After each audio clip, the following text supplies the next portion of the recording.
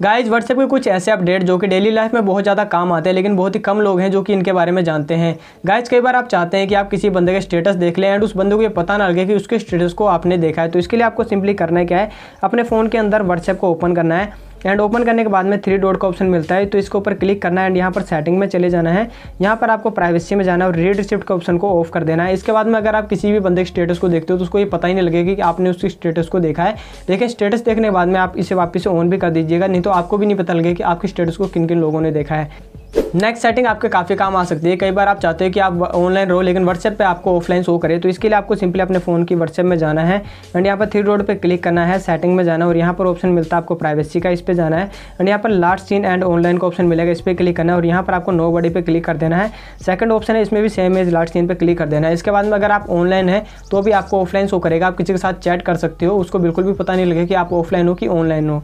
Next setting वो आपके काफ़ी ज़्यादा काम आ सकती है। गाइज़ कई बार ऐसा होता है कि आप फैमिली मेंबर या फिर किसी फ्रेंड के साथ में कोई फ़ोटो या फिर वीडियो शेयर करते हो, लेकिन उसकी क्वालिटी काफ़ी ज़्यादा लो हो जाती है, उस बंदे के पास में पहुँचते पहुँचते तो इस कंडीशन में आप अपने फ़ोन के अंदर व्हाट्सएप को ऑन कीजिए एंड यहाँ पर आपको थ्री डॉट पर क्लिक करना है सेटिंग में जाना है। यहाँ पर ऑप्शन मिलता है आपको स्टोरेज एंड डेटा का, इस पर क्लिक कर सकते हो। एंड इसके बाद में आपको यहाँ पर ऑप्शन मिलता है फ़ोटो अपलोड क्वालिटी का, इस पर क्लिक करना है। एंड यहाँ पर बेस्ट क्वालिटी पर क्लिक करना है और ओके कर देना इसके बाद में अगर आप किसी बंदे के साथ में किसी फ़ोटो को या फिर वीडियो को शेयर करते हो तो एक्चुअल क्वालिटी में जाते हो, उसकी क्वालिटी लो नहीं होती है।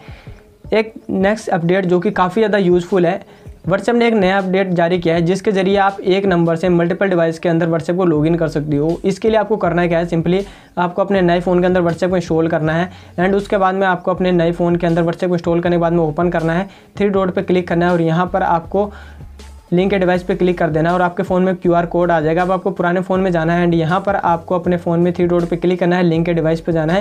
यहाँ पर लिंक के डिवाइस पे क्लिक करना है और उसके बाद में इस क्यूआर कोड को अपने फ़ोन में स्कैन कर लेना है और आप देखेंगे कि दोनों फ़ोन के अंदर सेम नंबर से व्हाट्सएप चल जाएगी। तो ये अपडेट इसका ऑफिशियल आ चुका है, जिससे कि आप एक नंबर से अपने नए और पुराने दोनों फ़ोन के अंदर सेम नंबर से व्हाट्सएप चला सकते हो। तो ये कुछ अपडेट थे जो कि डेली लाइफ के अंदर बहुत ज़्यादा काम आते हैं व्हाट्सएप के, जिनके बारे में मोस्टली लोगों को पता नहीं होता। तो आई हो आपको ये अपडेट और ये वीडियोज़ पसंद आई होगी। ऐसी इंटरेस्टिंग वीडियो देखने के लिए चैनल सब्सक्राइब वीडियो को लाइक करना मत भूलिएगा मिलता है नेक्स्ट वीडियो में।